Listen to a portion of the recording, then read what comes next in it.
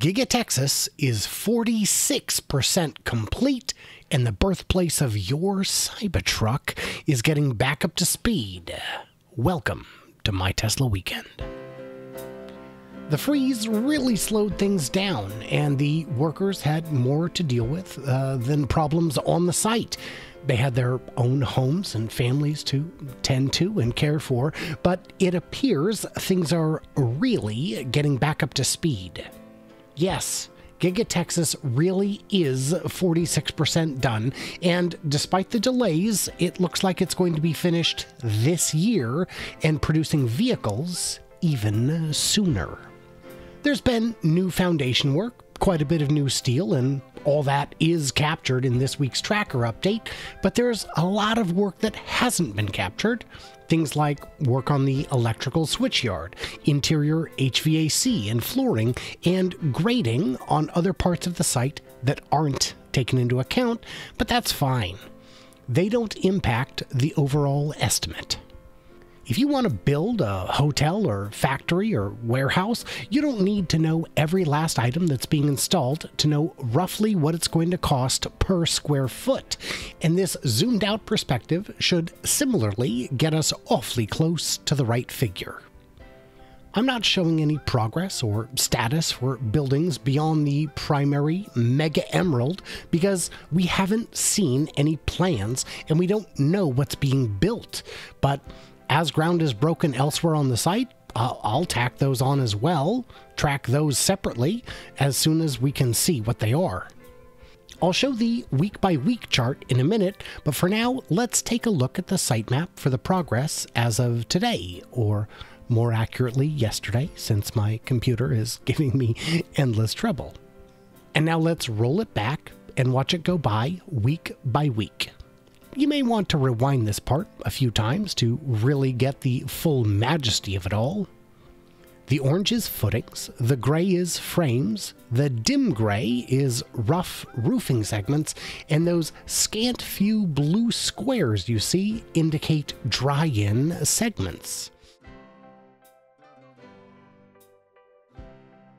They're not dry on all four sides, but they have a roof, a wall, and adjacent wall segments as a buffer from the elements. I'm only counting the areas away from those elements as dried in and at a 45 degree angle from there. In Shanghai's phases 1 and 2, the time from dry in to completion was about four months, and Berlin appears to be on the same schedule as of the video I made a, a while back showing. showing some interior drone footage that is no longer allowed. If you haven't done so already, please consider slapping the video with a thumbs up if you like it, or, you know, a thumbs down if you don't, and subscribe so you can see more of these and give similar thumbs of various directions. Hey man, that would be great. I appreciate it either way. I'm just glad you're here. These scant handful of completed interior segments today count for 0% of the progress, anyhow you count them. They'll increase by 1 16th over time. Uh, over the coming 16 weeks until each of these six squares hits 100% or 0.3% of the interior completion progress. Yes, I'm taking it very slow. It's a very cautious approach to it, and adding 0% today, I think, is appropriate, and so is adding 0.3% to the total in the next four months. It's not going to amount to much each week, but next week we'll see some more squares, and those will start counting, and some more each week after that. And pretty soon, you're talking real progress. Spare me five seconds to thank my Patreons who enjoy bonus content, early access, and support my continued efforts for as little as a buck a month. I can't do it without you guys. So let's take a look at the estimated date of completion as of 46% done. Giga Texas is on pace for 488 days since groundbreaking, with completion on or about 1122 of 2021, November 21st, with 24% single floor, 61% two floors, and 15% with three or more floors.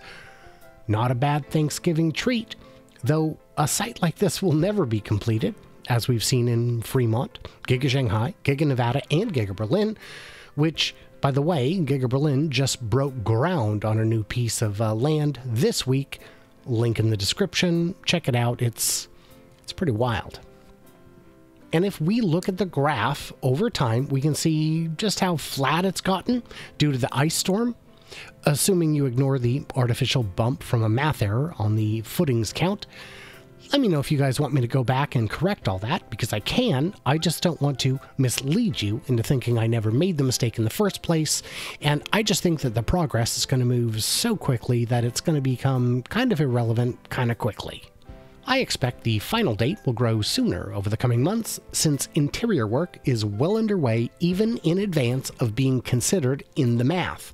The massive Southwest Prairie is about to embark on an adventure of rapid steelwork, and in the Northwest corner, I think we'll see it's going to be half covered in foundations in the next two or three weeks barring another natural disaster on par with the freezes and floodings of biblical proportions we've seen so far, I expect the completion of Giga Texas will exceed 93% before Halloween.